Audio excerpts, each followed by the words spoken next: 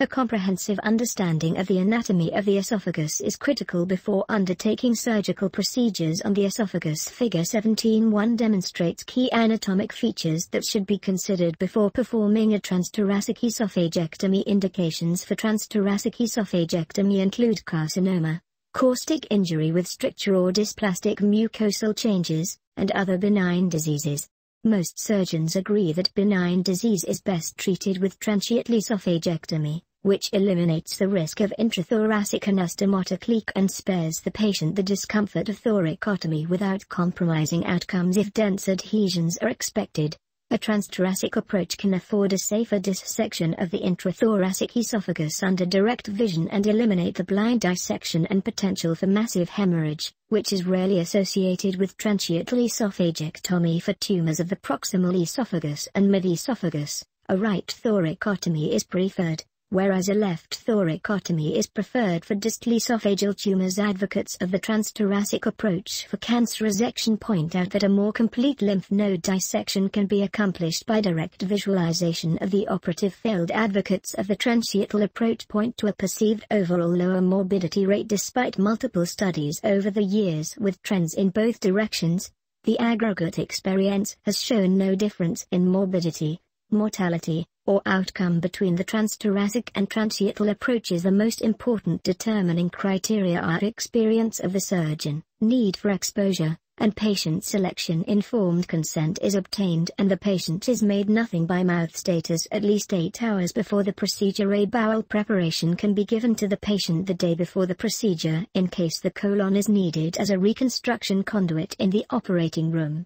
A radial artery catheter should be used for continuous blood pressure monitoring. Central venous access is not routinely necessary however, if access is needed, the contralateral neck veins should be used to allow the surgeon complete access to the neck during operation. A double lumen endotracheal tube is used to deflate and retract the lung. General endotracheal anesthesia is mandatory for this procedure. The patient is placed supine on the operating table with the head slightly extended. A roll is placed under the patient to slightly elevate the side of the patient in anticipation of a thoracotomy. The patient's arm is either elevated and draped out of the field or prepped into the field to allow it mobility during the procedures. Alternatively, the patient can be placed supine during the abdominal portion of the procedure, then reprepped and draped in the lateral position for the thoracic portion to facilitate dissection. The skin over the entire neck, chest, and abdomen should be prepped with povidone iodine. Betadine transthoracic esophagectomy uses two incisions, a midline abdominal incision and a thoracotomy. An upper midline supraumbilical incision from the xiphoid process to the umbilicus is used to begin the abdominal portion of the procedure. The incision should be extended cephalad to the left of the xiphoid process to adequately expose the esophageal hiatus. A self-retaining retractor can facilitate exposure of the upper abdomen.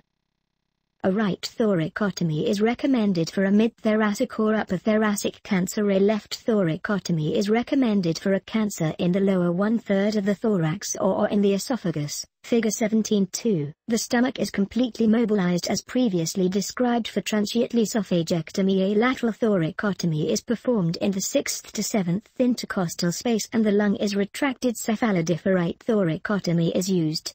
The azygos vein should be identified and suture ligated to better reduce the risk of postoperative hemorrhage. Figure 17.3. The pleura overlying the esophagus is incised and the esophagus is dissected free from its bed. A Penrose drain is used to encircle the esophagus and provide retraction during the dissection. The surgeon should be able to include the lymph nodes surrounding the esophagus in the dissection. Figure 17.4. Care must be taken not to injure the posterior membranous trachea during mobilization of the esophagus or tumor or both. Once the esophagus is mobilized it is transected at a point at least 4 cm proximal to the tumor. The stomach, which has been previously mobilized, should be gently elevated into the chest. Figure 17.5 An endoscopic gastrointestinal anastomosis, GIA, stapling device is used to resect the cardia and proximal fundus along the lesser curve with at least a 5 cm margin. This staple line can be oversewn with interrupted 3 to 0 silk Lambert stitches. Figure 17.6 The stomach is placed as high in the chest cavity as possible to avoid undue tension at the anastomotic site. A stapled anastomosis using an end-to-end anastomosis, EA, stapling device can be used via a 1.0 to 1.5 cm gastrotomy or,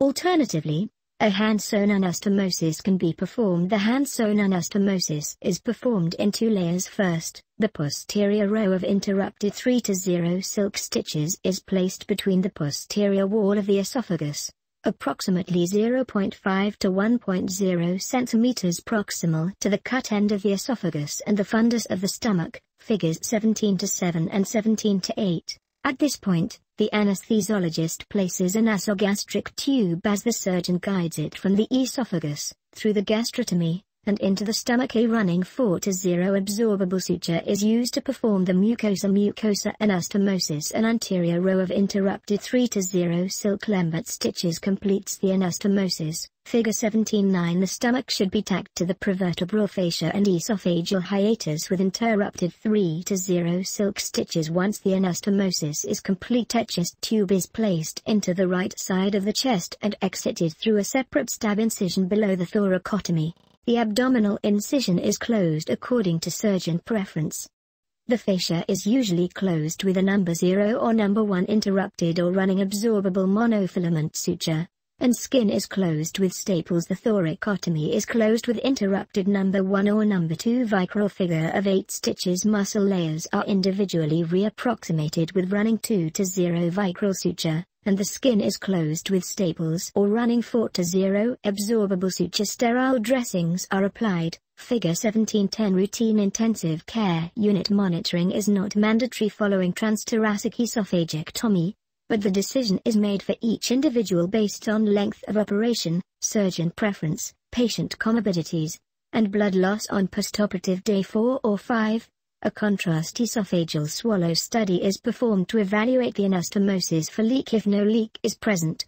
A diet is initiated and output from the chest tube is monitored assuming no increase in output with feeding and a fully expanded lung and drained right hemothorax. The chest tube can be removed. Ambulation and chest physiotherapy should be initiated on postoperative day 1 and continued until discharge. Identify and preserve the right gastric and right gastroepiploic arteries. When mobilizing the stomach test the esophagogastric anastomosis underwater before closing to ensure no gross anastomotic dehiscence is present. Avoid injury to the posterior membranous trachea during esophageal mobilization. Act quickly to ensure adequate drainage of the thorax and mediastinum if signs of anastomotic leak occur in the postoperative period.